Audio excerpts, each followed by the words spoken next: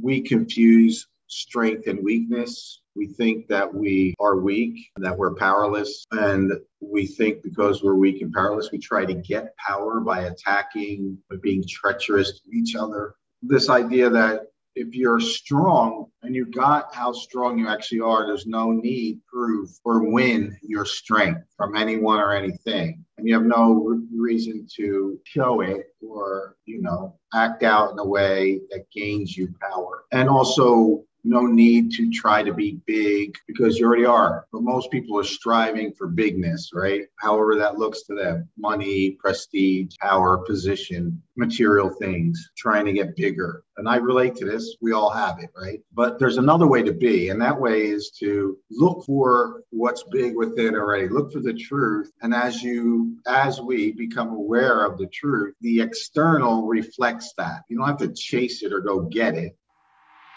you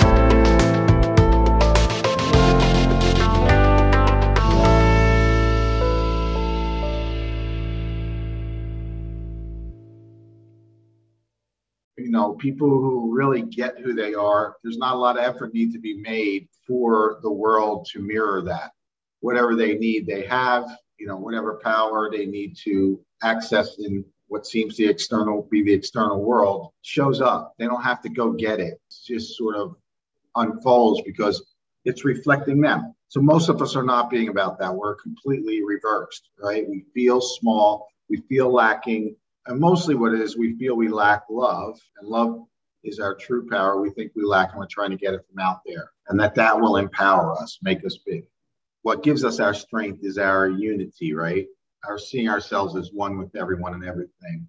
And we're we have it backwards. We think we gain our strength by separating ourselves out and then taking power from others. That actually weakens us. So the strong do not attack because they see no need to, dis- to do so. Before the idea of attack can enter your mind, you must have perceived yourself as weak because you attacked yourself and believed that the attack was effective you behold yourself as weakened. Because you attack yourself and believed that the attack was effective, you behold yourself as weakened. And so, no longer perceiving yourself and your brothers as equal and regarding yourself as weaker, you attempt to equalize the situation that you made. You use attack to do so because you believe that attack was successful in weakening you. And the attack is the self attack that weakens us. That is why the recognition of your own invulnerability is so important to the restoration of your sanity. Do I desire a world where I am powerful instead of helpless? Do I desire a world in which I have no enemies and cannot sin? And do I want to see what I denied because it is the truth? So, saying what we've denied, you know, it's asking, do you actually want to see what you shut out believing that you're helpless instead. And says, You may have already answered the first three questions, but not yet the last. So, I mean, most people say, Do I desire a world where I rule instead of one that rules me? Yeah, sure, I desire that. Do I desire a world where I am powerful instead of helpless? You could say yes that. Do I desire a world in which I have no enemies and cannot sin? Yeah. But then, do I want to see what I denied because it is truth? Now, the reason it's saying we probably haven't answered that one yet, because if you could say yes to that, you would probably see it. And what you've denied or what we've denied is the truth of ourselves. And to the ego, that feels very threatening. So it says, You may have already answered the first three, but not like the last. For this one still seems fearful and unlike the others. Yet reason would assure you they are all the same.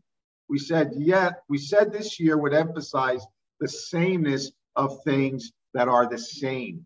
And this is what we don't want to see. We don't want to see that we're the same. That's the thing that's treacherous to it, to the ego. We're the same. There's nobody greater, nobody lesser, right? We're the same. Um, this final question, which is indeed the last you need to decide, still seems to hold a threat the rest have lost for you. and this imagined difference attests to your belief that the truth may be the enemy you yet may find. This is interesting. Right? hard to fully get what it's saying, but we're making the truth our enemy. And the truth is that we're all the same. We're all equally powerful and unlimited in our power together. And the ego makes this its enemy. This truth is the enemy. We don't want to know it Because to have that truth show up means you have to give up the whole story, right? The whole thing, all of it. How they wronged you, harmed you, took it from you, did it to you, all that stuff you have to give up. And we, I, that's our identity. We identify with that story.